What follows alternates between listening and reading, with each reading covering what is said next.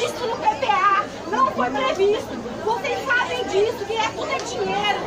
Agora eu estou me esforçando para colocar aqui a equiparação para mim a partir de agosto. E vocês têm que se debochar. Pelo amor de Deus, gente. Eu estou aqui lutando por vocês. Com a pessoa parceira. Sinto os sentimentos de vocês. Eu quero que vocês. Estou aqui com meu coração aberto. Vocês sabem que eu sou sensível à causa de vocês.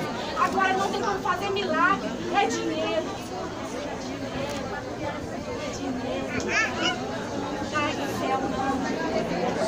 Então, eu quero dizer é que a gente está estudando, estou trabalhando, sou parceira, sou amiga, tenho lutado por menina. No final de quatro anos, vocês vão ver a diferença desse município. Mas não é com cinco meses, não. Não é com cinco meses, não, gente. Não é com cinco meses, não é justo vocês me cobrar uma posição que faço com oito